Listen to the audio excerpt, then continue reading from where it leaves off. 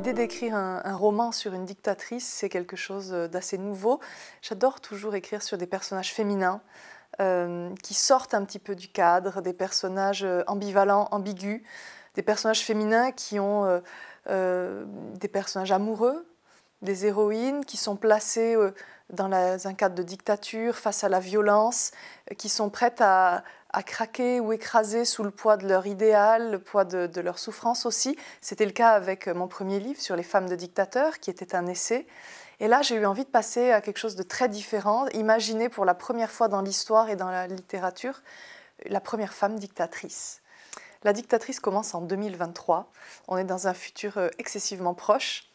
Ça se passe en Europe, même si Aurore Henry est française. On est dans une Europe finalement qui se dessine aujourd'hui.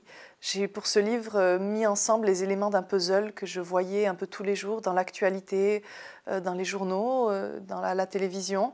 C'est une Europe en perte de vitesse qui implose sous le poids des nationalistes et des populistes qui cherchent à la faire éclater.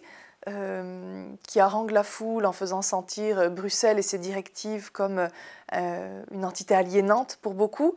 C'est une Europe dans laquelle toutes les fins de semaine, des manifestations euh, déchirent les capitales, dans lesquelles il y a beaucoup de violence, euh, beaucoup de haine euh, raciale, sociale également, où finalement les laissés pour compte du développement, de la croissance économique, cherchent quelqu'un pour les écouter cherchent une parole salvatrice et où la jeunesse cherche aussi une raison de continuer à croire en quelque chose, croire en l'avenir.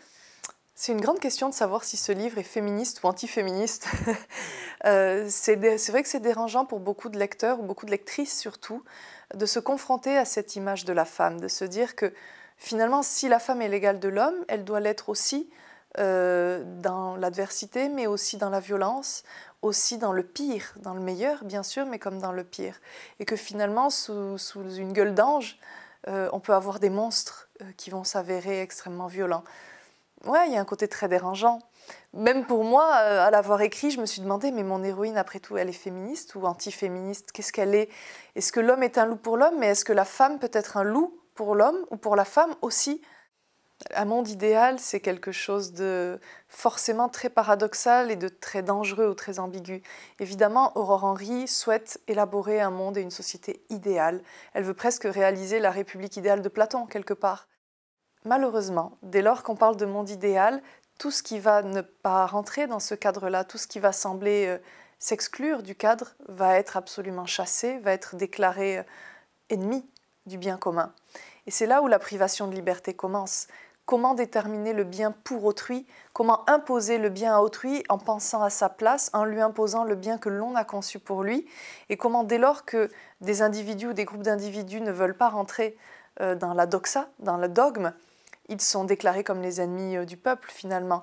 C'est là où s'installe toute la perversité du totalitarisme, c'est que parfois en voulant le bien, on peut absolument produire l'effet inverse.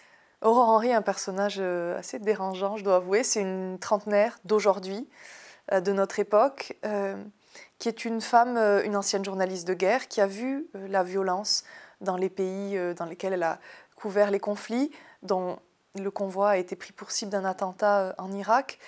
C'est donc une femme assez blessée dans sa chair, assez meurtrie, euh, qui est en colère, une femme en colère contre les injustices et qui est vraiment éprise de liberté, éprise d'identité européenne, de culture européenne qu'elle veut défendre, qu'elle veut sauver.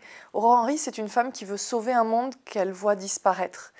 Euh, et en même temps, c'est une femme qui, qui est très en colère. Et d'un autre côté, outre cette blessure euh, physique, c'est surtout une femme à la recherche de son origine et de son identité puisqu'elle est née sous X, elle ne connaît pas sa mère, qu'elle voit uniquement par euh, flash, parfois la nuit, sans tout à fait réussir à, identifier son visage.